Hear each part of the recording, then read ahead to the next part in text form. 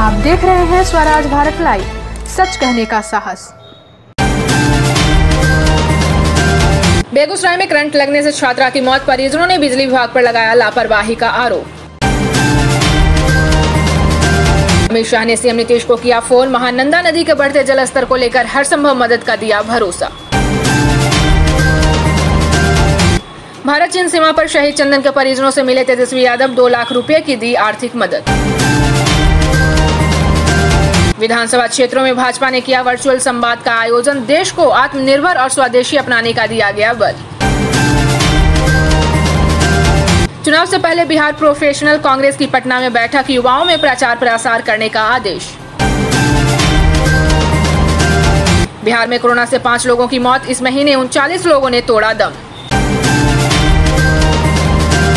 शिवहर में फटा gas cylinder, सात लोग झुलसे चार की हालत नाजुक।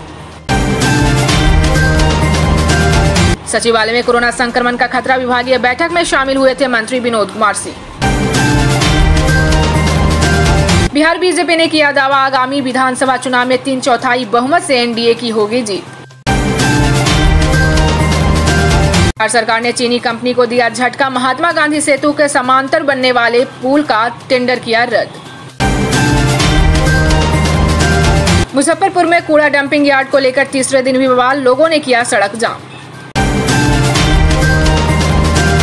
भाजपा के आकाश कुमार समेत सैकड़ों कार्यकर्ता जाप में हुए शामिल पार्टी सुप्रीमो पप्पू यादव ने दिलाई सदस्यता।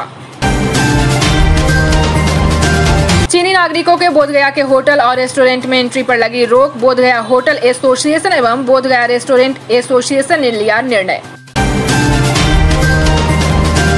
नेपाल की सीमा के रास्ते जैश ए मोहम्मद के छह खुखार आतंकियों ने किया बिहार में घुसपैठ। स्पेशल ब्रांच का अलर्ट।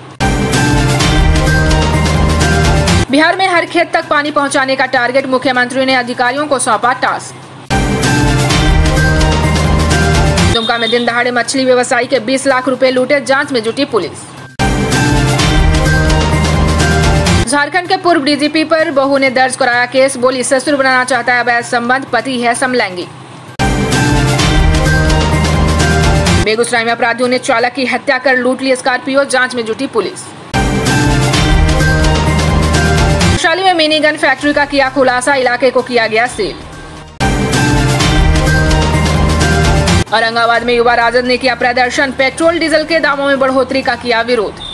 ऐसे अन्य कई खबरों के लिए बने रहे हमारे साथ। अगर आपको वीडियो पसंद आया हो तो लाइक करें सब्सक्राइब करें, अपने कमेंट्स दें, और हाँ बेल आइकन क्लिक करना ना भूलें। धन्यवाद।